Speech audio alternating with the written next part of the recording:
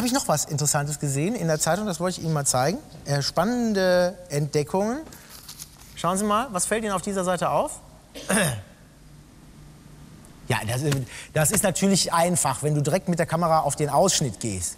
Ja? Da bleibt die Wahl ja, äh, äh bleibt die Wahl ja äh, nicht besonders schwer. So. Worauf würden Sie zuerst gucken?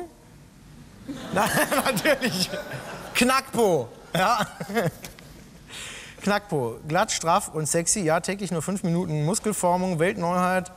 US-Buddy-Maschine, nur 77 Zentimeter lang. Aber darum geht es gar nicht. Uns geht es, hier, uns geht es hier rum, meine Damen und Herren. Darum geht es uns natürlich. Ja? 400 unbekannte Hitler-Fotos entdeckt. Ja? In einem Nachlass sind 400 unbekannte Hitler-Fotos entdeckt worden.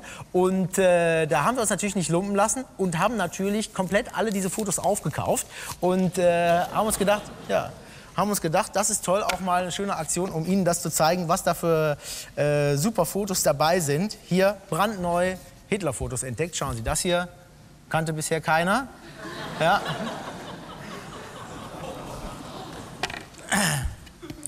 Oder auch gut, haben Sie das gewusst? Ja? Völlig neu.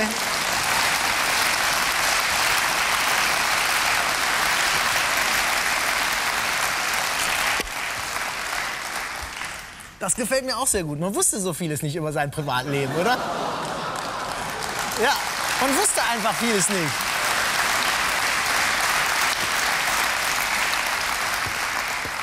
Oder kannten Sie das hier? Wer ist kein Teletubby? Tinky Winky, Lala, Erwin Rommel oder Po? Die Frage ist auch nicht, äh, auch nicht so einfach, oder? Wer ist kein Teletubby? Tinky Winky, Lala, Erwin Rommel oder Po? Aber was ich überhaupt nicht wusste, war das hier. Hätten Sie das gedacht?